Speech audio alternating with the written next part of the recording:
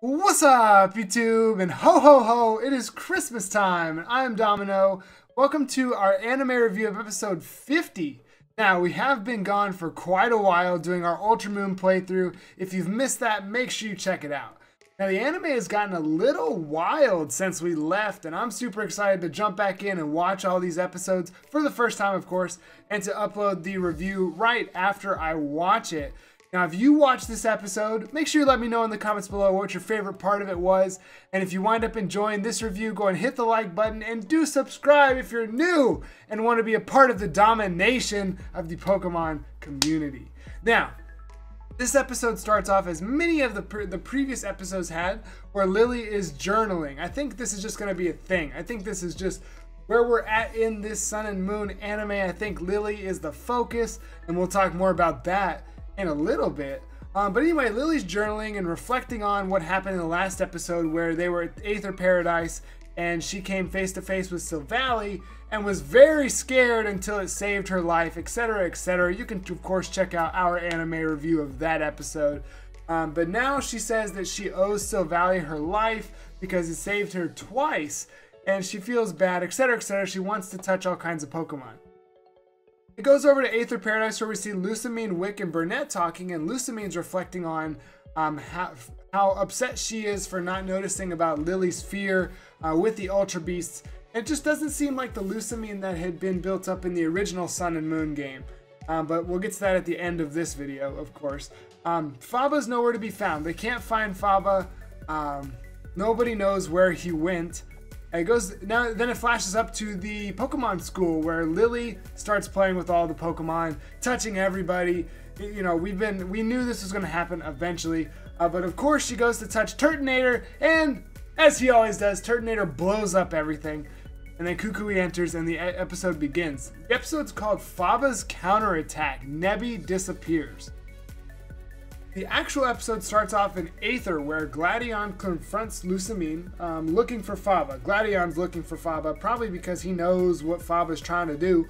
Um, Lusamine's trying to talk to Gladion to try and, I guess, come to like, uh, you know, try to figure out my hat's not straight. Anyway, I'm trying to figure out like um, what they can do to, I guess, alleviate any bad air between the two of them, etc., etc. And Gladion just leaves.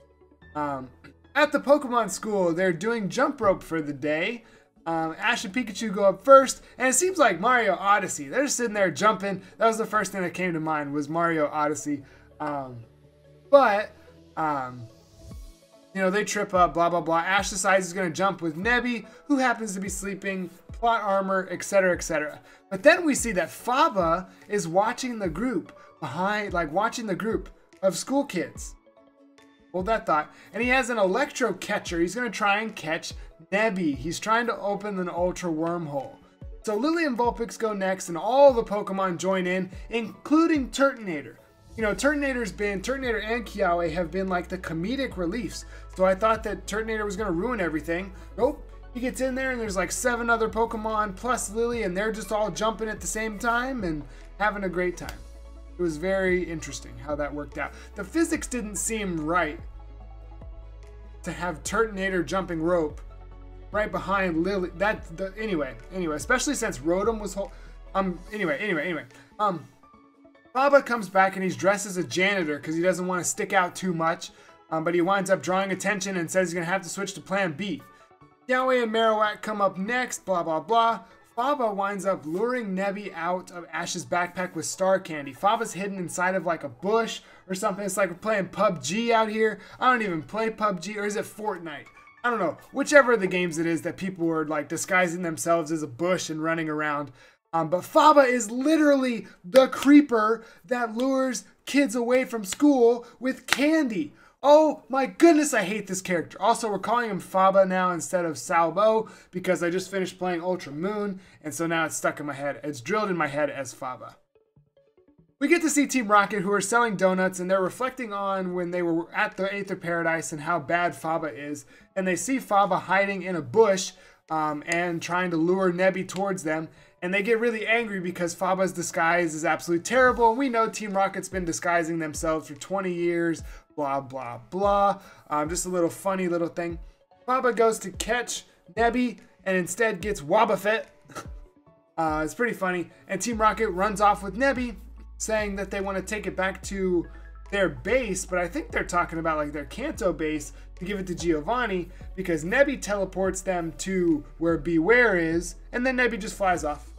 Because of course, Bewear holds on to Team Rocket. I don't know what this Bewear is doing. I can't wait to find out. Ultra Moon didn't give any. Excuse me.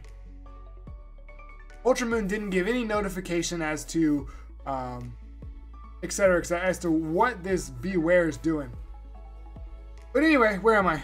Oh, Nebby then teleported back to Faba, and Faba decides to be nice to Nebby to try and get it to teleport it back to Aether, which Nebby, of course, does. It's so convenient.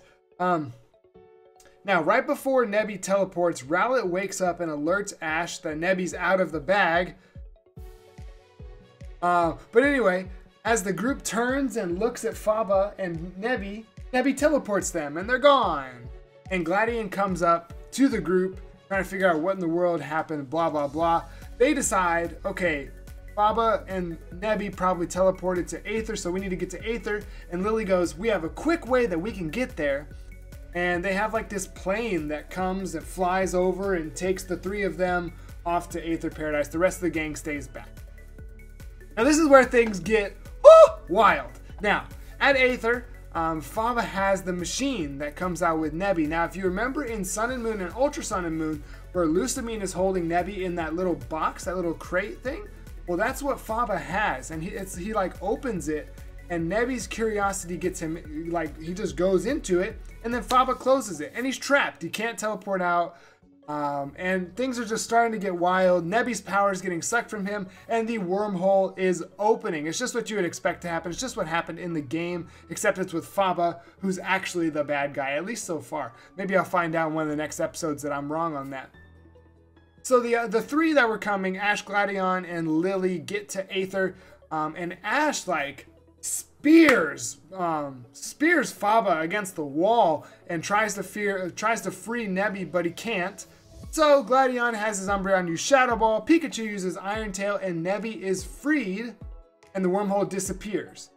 But then Nebby starts to glow like he's evolving, which he is. He winds up excuse me, he winds up evolving into Cosmoem right there, and because of all the power that he had put out before, the wormhole appears again, and Nihilego comes out. Oh my goodness! And then Lillie is terrified. Now, Lillie wasn't supposed to come. Gladion didn't want Lillie to come, but Lillie came because she's trying to be a big girl and wants to help and is worried about Nebby, etc., etc., etc. But Lusamine winds up having to go over and hold on to Lillie um, to try and you know try and comfort her because Lillie's terrified because she got grabbed by Nihilego when she was a kid. Blah blah blah blah blah blah blah blah blah blah blah blah. Um, but Lusamine, while she's holding Lillie, looks up at Nihilego, and it's like she just looked up at like I don't know, like like a brownie cookie crumble. Like her face is just like, oh my god, Nihilego, I want you.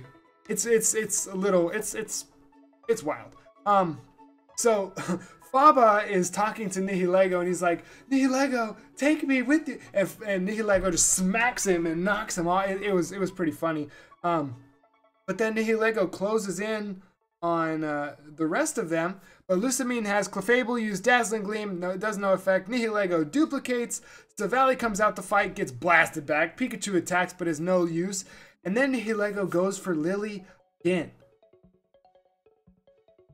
Uh, comes, grabs onto Lillie, protecting her. Gladion, Vulpix, Umbreon, Silvally all standing in front of Lillie. Why is Lillie so important? I don't get it. Why is this girl, why, why is she so relevant in this series, in the games? I love Lillie, don't get me wrong, but I just don't get it. I just don't get it right now. Why is Lillie so important? Why do the Ultra Beasts want Lillie? I don't get it. I don't get it.